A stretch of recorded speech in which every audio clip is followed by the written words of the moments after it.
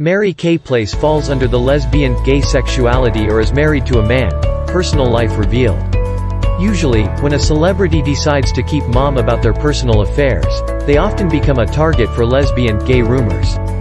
A profound personality Mary who turned 70 this September 2017, has never been married to call someone a husband or had a rumored boyfriend making headlines.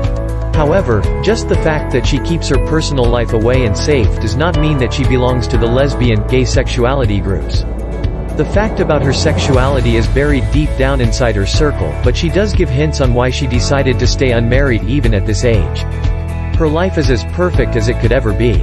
I have godchildren. I have nieces. I've been on the road so much, I have not gotten another pet.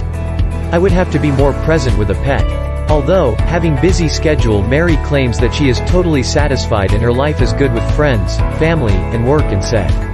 It's enough to have life maintenance, family maintenance, friend maintenance and work maintenance. I feel my life is chock full. I'm totally satisfied. There's plenty. Life is good. Mary Kay Place expressed to Los Angeles Times that she is comfortable working both as an actress and director but does not like to take the role of actress and director simultaneously in one episode and said, I enjoy directing. It's a whole other head. I call that the outside head. Acting is the inside head.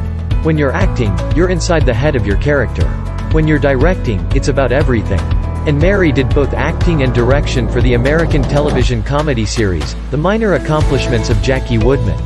Where, as an actress, she portrayed the role of a mother of jaundiced screenplay writer Jackie Woodman who had a great sense of humor but would drive Jackie crazy and stated. She drives Jackie crazy, but she's got a sense of humor. She's not irritating in that cliché sitcom kind of way.